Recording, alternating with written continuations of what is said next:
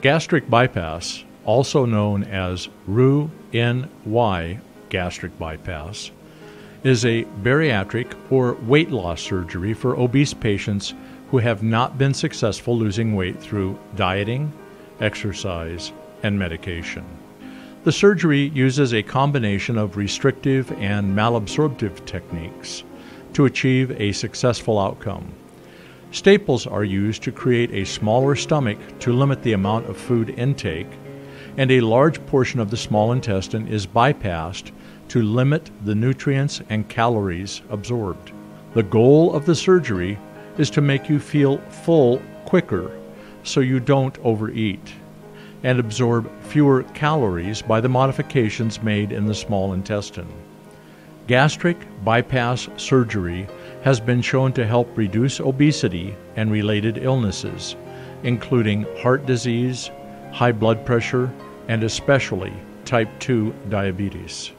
It can be performed laparoscopically through tiny incisions, minimally invasive technique, or through a large open incision, open technique.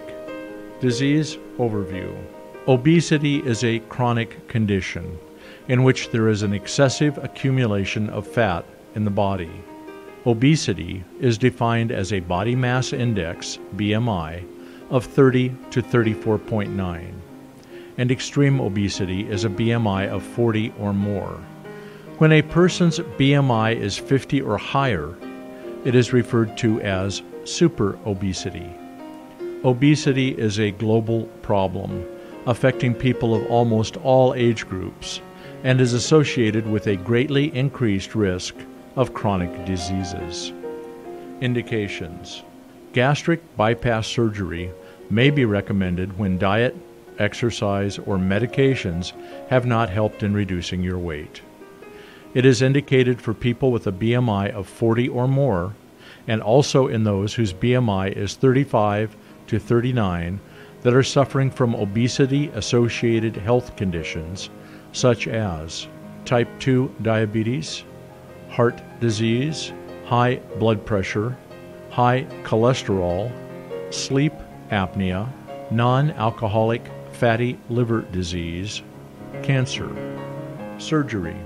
Gastric bypass surgery is performed under general anesthesia. Your surgeon makes several small incisions on your abdomen. The laparoscope, a thin instrument with a light and camera on the end, is inserted through one of the incisions, allowing your surgeon to clearly view the internal organs on a monitor. Small surgical instruments are inserted through the other incisions to perform the surgery. The first step is to reduce the size of the stomach so that it holds less food the upper portion of the stomach near the esophagus is converted into a pouch by stapling. The second step of the surgery involves the creation of a bypass for food to flow from the new stomach pouch. The small intestine is divided into upper and lower segments. The lower section of intestine is attached to the opening in the stomach pouch, creating what is referred to as the roux limb. The upper section of the small intestine, which carries digestive juices from the remaining portion of the stomach, is attached at the distal end of the roux limb. The roux limb enables food to bypass the lower stomach, duodenum, and a portion of the small intestine. At the end of the procedure, the incisions are closed with sutures. Post operative care. After gastric bypass surgery, you will have to stay in the hospital for about three to five days. Your doctor will prescribe pain relieving medications to keep you comfortable. You will be given instructions to follow regarding wound care, diet, and activities such as keep the incision area clean and dry, avoid strenuous exercises and lifting heavy weights. You may not be able to eat food for the first one to three days, after which you will be put on a liquid diet, followed by pureed or soft foods.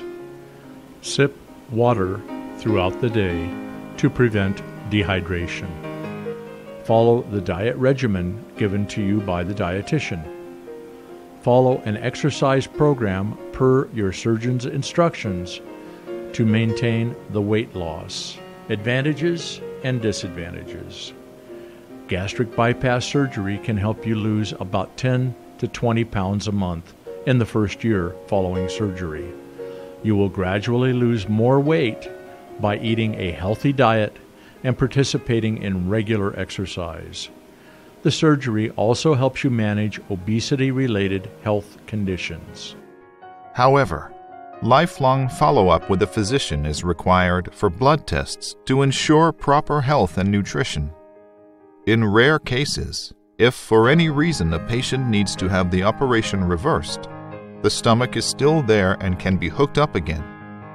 This remnant stomach can also be used to help feeding if an unrelated serious medical problem should occur. Risks and complications. As with any surgery, there are potential risks and complications involved. Complications associated with gastric bypass include problems associated with anesthesia, bleeding, infection, bowel obstruction, leaks in your gastrointestinal tract, deep vein thrombosis, blood clot in the leg, dumping syndrome leading to diarrhea and nausea, hernia, gallstones, malnutrition, ulcers. Gastric bypass surgery is an effective procedure to treat obesity, one of the leading causes of preventable death worldwide.